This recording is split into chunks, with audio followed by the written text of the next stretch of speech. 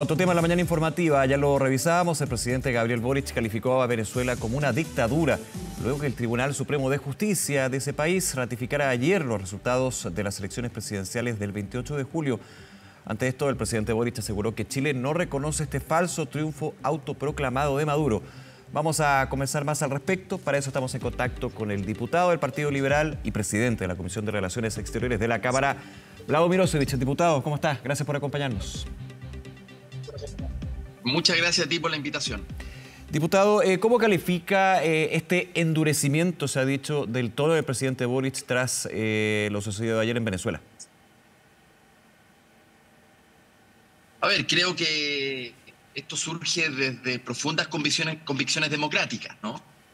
Desde el convencimiento de que Chile como Estado no se puede prestar para un fraude electoral no se puede prestar para una manipulación como la que se ha hecho de parte del régimen de Nicolás Maduro.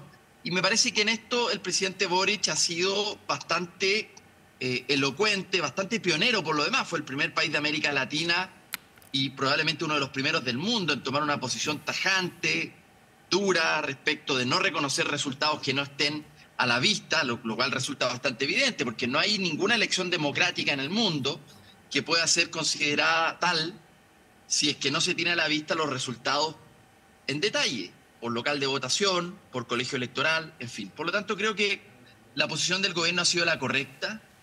La comunidad internacional, muchos de los países secundaron, en este caso, la posición de Chile.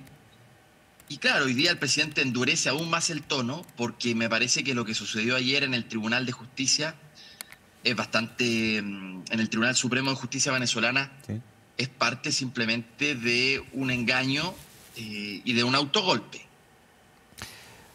Un autogolpe en ese sentido. Lo conversaba ayer en la tarde también con el senador eh, José Miguel Insulza y también hablaba de un golpe de Estado, autogolpe en ese sentido. Ahora, vamos a, lo que señalaba el presidente Boric, lo dijo a través de sus redes sociales también en conversación con TVN, Canal 24 Horas, allá en la red eh, Araucanía. ¿Endurece eh, el tono? Algunos dicen que lo endurece, otros dicen que siempre ha sido el tono, digamos. De hecho, el propio presidente en conversación con Fernando Reyes, nuestro compañero, decía, más allá, dejemos la discusión de los conceptos, es una dictadura. ¿Usted cree que ya hablar de dictadura sin ninguna vuelta, digamos, eh, marca también un punto de inflexión desde la posición del presidente? O sea, yo creo que, claro, estas son declaraciones más duras en general, pero respecto de esto es algo que que ya Chile como posición oficial venía diciendo hace bastante rato. Eh, no me parece que eso sea necesariamente un antes y un después.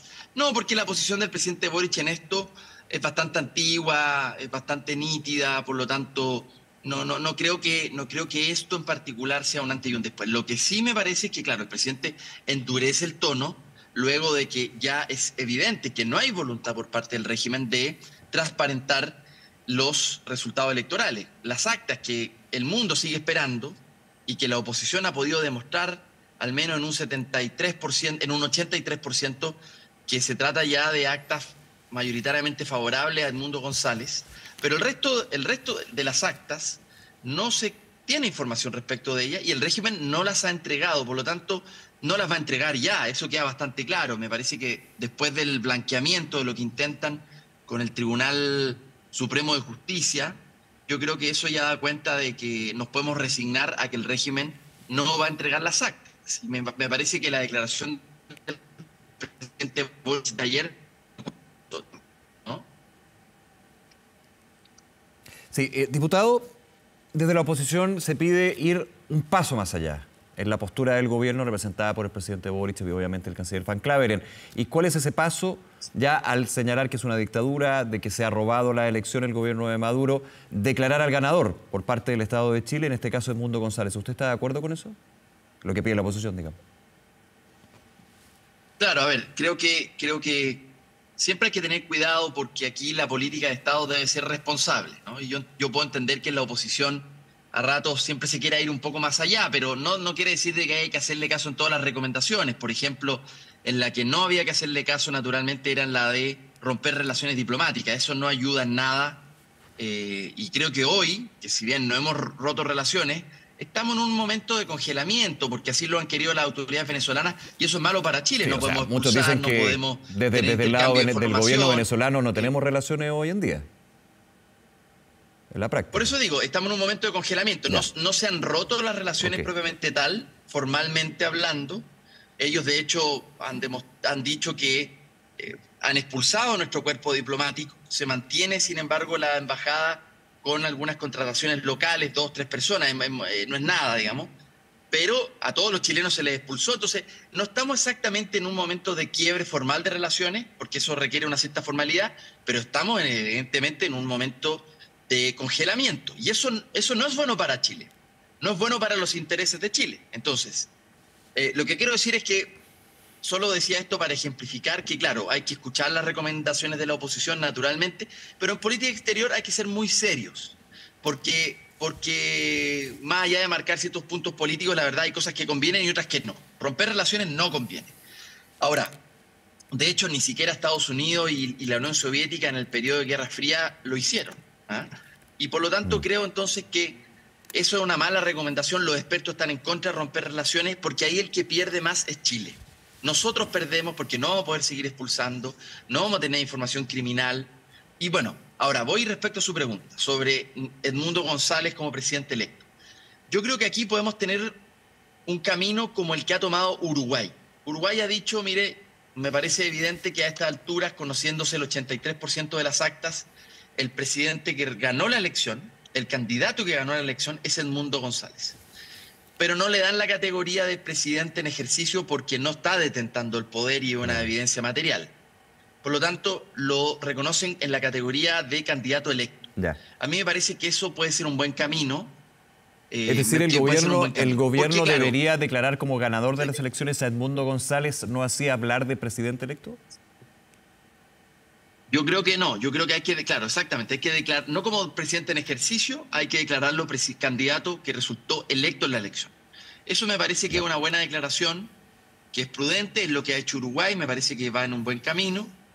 Eh, eh, el gobierno de Uruguay es un gobierno, recordemos, de centro derecha, pero habría que decir una centro derecha muy moderada, muy responsable, eh, que digamos, ya, ya nos lo quisiéramos que, que, que estuviera que fuera así en Chile la centro derecha, digamos, una centro derecha muy moderada. Y eso creo que es una buena, es una buena noticia que en política exterior han, tomado, han dado buenos pasos. Yo creo que Chile podría secundar eso. Eh, porque claro, llamarlo presidente en ejercicio no, no tiene ningún sentido, es meternos un poco, revivir la disputa pasada con Guaidó, aunque son momentos distintos, porque aquí hay una elección democrática y una expresión de voluntad popular expresada en las urnas, de manera además muy mayoritaria, este es, un caso distinto al de Guaidó, tampoco me gusta la comparación exactamente. Pero bueno, claro, porque son casos distintos. en, esta hubo una elección, en la otra no hubo una elección, digamos, una especie de autoproclamación en ese sentido. Claro, hubo una, en el caso de Guaidó hubo una declaración de la Asamblea Nacional, en ese entonces de mayoría opositora, que lo que hace es reconocerlo a él como presidente en ejercicio, dado que había un vacío porque la elección anterior la declararon viciada. Entonces, claro, pero es una declaración que hace uno de los poderes del Estado, que en este caso el poder legislativo, que hace una interpretación de la Constitución y lo nombra a él. Bueno, esto es distinto porque aquí no hay ninguna interpretación de la Constitución, aquí hay una voluntad popular expresada en las urnas donde ganó la oposición claramente. Por lo tanto, eh, como Nicolás Maduro quiere consagrar un autogolpe, consagrar el fraude, me parece que sí sería deseable que Chile reconociera entonces el resultado electoral, ¿no? En favor mayoritariamente de Edmundo González. Me parece que eso es lo me parece que eso es lo lógico, es lo que debiésemos hacer, pero no hay que hacerlo solo, Nicolás. Creo que esto hay que coordinarse con otros países para hacerlo. Ya sabemos que Brasil, Colombia, México están en una posición de intento de negociación. Hay que desearles suerte. Yo, yo les deseo suerte completamente. No sé cómo les va a ir, pero me parece que hay que, hay que darle suerte, ¿no? Respecto de que algo de ahí pueda salir. Diputado, eh, con respecto a esto, hay, y ha sido una pregunta constante en términos de la situación, la opinión del gobierno sobre Venezuela y la situación del oficialismo. Le hago la pregunta, ¿qué espera usted del Partido Comunista? Ayer se le consultaba al presidente Lautaro Carmona y decía, voy a entregar la opinión del PC cuando el PC concluya una opinión. Sí. Sí, a ver, eh, bueno, no, es mi partido. Eh, yo soy del Partido Liberal y, bueno, ya he sabido que yo históricamente no he compartido eh, esta posición que tiene el PC eh, sobre el, y, no, y, no la, y, no, la, voy a compartir simplemente, menos después de los hechos que todos hemos visto, que sucede en Venezuela. Sin embargo, creo que ellos tienen que tomar una definición, ayudaría mucho que tomen una definición nítida. Uh -huh. Yo entiendo que hay, hay diferencias al interior, no me corresponde a mí tratarlas, pero hay diferencias al interior, hay algunos, los de partida los ministros que están en el gabinete han sido muy claros de apoyar la posición del presidente de la República, eh, lo mismo ha pasado con algunos parlamentarios.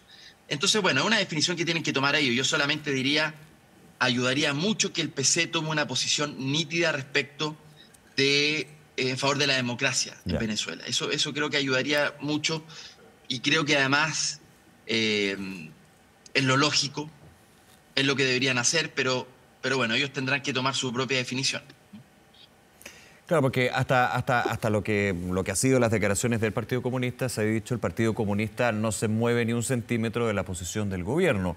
Y ayer uno, insisto, los conceptos son importantes en, en este tema, el presidente habla de dictadura. Si efectivamente, y me pongo en ese caso, el Partido sí. Comunista diría, nosotros nunca nos hemos movido de la visión que tiene el presidente y el gobierno, tendrían que hablar también de dictadura. Y esto es un paso más allá, en lo que muchos analizan de la postura del PC, del Partido Comunista. Sí. Bueno, claro, vamos a, vamos a ver qué declara el PC.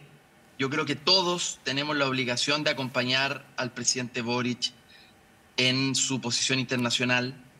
Él conduce las relaciones exteriores. Él lo ha dicho muy nítidamente. Soy yo quien toma las definiciones, no los presidentes de partido. ¿no? Eh, me parece que él ha sido por lo demás el garante respecto de que Chile tenga una posición en favor de la democracia y los derechos humanos. Nosotros, por supuesto, en la coalición de centro-izquierda, de la que participa el Partido Liberal, junto con el Partido Socialista, el PPD, los radicales, obviamente nosotros tenemos una posición muy nítida en esto. Nunca nadie se ha perdido en este tema. Y nosotros apoyamos claramente la posición que ha tenido Chile. Sin ningún matiz, lo apoyamos claramente. Entonces creo que yo esperaría que todos los que participan de la alianza de gobierno hagan lo mismo. Ahora, diputado, y por último, agradeciendo esta conversación, ¿eh? Eh, en términos de qué se, qué se puede hacer desde, desde veredas externas, digamos, a Venezuela, ¿a qué me refiero? Ya ayer el Tribunal Supremo de Justicia convalida el resultado, o sea, no hay ninguna vuelta atrás en términos de la situación de la institucionalidad venezolana con respecto a las elecciones. Hay una mirada desde los países vecinos, de la región. ¿Se puede hacer algo más, digamos, desde esta vereda? Se ve bastante difícil, casi imposible. No, es fácil. Eh, yo creo que las esperanzas hoy día están cifradas en lo que puede hacer el presidente Lula, lo que puede hacer eh, México con Colombia. Ahí hay un intento de conversación con el régimen que, bueno, ha salido a la luz pública que una de las alternativas de solución de, en la negociación sería la repetición de elecciones. Yo creo que en ese caso, Nicolás, no tiene ningún sentido. ¿Quién nos podría hacer creer que Nicolás Maduro va a volver, o sea, esta vez iba a respetar el resultado electoral? me parece completamente sospechoso. No, no veo bajo qué punto de vista. Además, el pueblo va a tener que por segunda vez eh, decirle que no a Nicolás Maduro. Me parece que las elecciones son en un solo acto. No veo por qué haya que repetirlas cuando el resultado no te gusta. Eh, no corresponde. No corresponde de la misma manera en que yo he sido muy nítido, muy claro respecto de cuando lo mismo decía eh, Bolsonaro, por ejemplo, el presidente de ultraderecha en, Brasil. Él desconoció el resultado, sus adherentes se tomaron el, el Congreso en Brasilia. Bueno, lo mismo que Donald Trump, ¿no? No muy distinto, parece que siguen el mismo manual. Pero no, los resultados son los resultados. El pueblo ya habló, no corresponde a repetición de las elecciones y creo que esa no es la salida, sinceramente. No. Pero sin embargo, sigo, sigo manteniendo una esperanza de que, de que el presidente Lula con su liderazgo pueda buscar alguna alternativa, alguna salida que sea que de partida sea la propia oposición venezolana la que debe dar la pauta si es que son, es aceptable o no. Uh -huh. eh, hay que escuchar a ellos, ¿no? a, la a, la, a la oposición a la oposición democrática en Venezuela. ¿no? Diputado Vlado Mirosevich, nuevamente muchas gracias por conversar con nosotros aquí en la mañana informativa, Canal 24 Horas. Que le vaya muy bien. Bien, muchas gracias a ti, un abrazo. Hasta luego, nos vemos, chao.